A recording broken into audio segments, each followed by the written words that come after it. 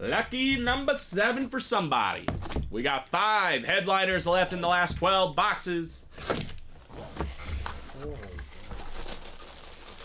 Robbie, Robbie, Robbie, Robbie. We have, in my opinion, the MVP of this season, CMC, Christian is. McCaffrey. He's off the board. CMC 23 coming out. Chris Ripka, two spots, just over $50. And he's going to take home a guy that could very well be the Super Bowl MVP this year when it's all said and done. If the Niners get business done against the Chiefs, it'll probably be in large part due to Christian McCaffrey. What an absolute bomb of a signing. Bomb in a good way. Bomb's probably not the right word for the San Francisco 49ers getting this guy. Their whole offense changed. Everything runs through McCaffrey now, whether it's passing, rushing. This is probably the best running back in the NFL, no question. A beautiful custom jersey here, Beckett certified as well for my man Chris Ripka, making it happen. Congratulations. Oh I'm